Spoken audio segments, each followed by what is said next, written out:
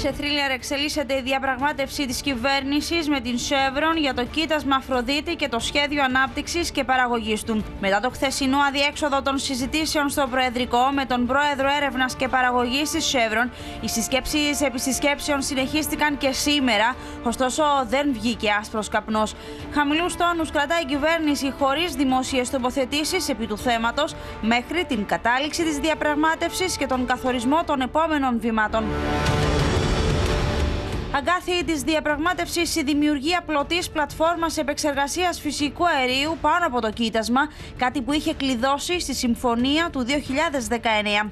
Στην ουσία, η εταιρεία επιχειρεί να ανατρέψει αυτή τη συμφωνία, βγάζοντας από το πλάνο τη δημιουργία της υποδομής, θέλοντας να κατασκευαστεί μόνο ο υποθαλάσσιος αγωγός για διοχέτευση του φυσικού αερίου του κοιτάσματος προς την Αίγυπτο. Η κυβέρνηση διαφωνεί και επιμένει στη δημιουργία της πλατφόρμας, η οποία σύμφωνα με τους τεχνοκράτες της Δημοκρατίας θα επεκτείνει τον κύκλο ζωής του κοιτάσματος, βελτιστοποιώντας την παραγωγή. Είμαστε στο 2023. Το να αλλάζουμε τα σχέδια δεν μας βρίσκει σύμφωνο σαν Κυπριακή Δημοκρατία. Αν όμως υπάρχει κάτι το οποίο μπορεί να μας υποδειχθεί και το οποίο μπορεί να προσφέρει κάποια αξία και για την Κυπριακή Δημοκρατία, βεβαίως να το ακούσουμε.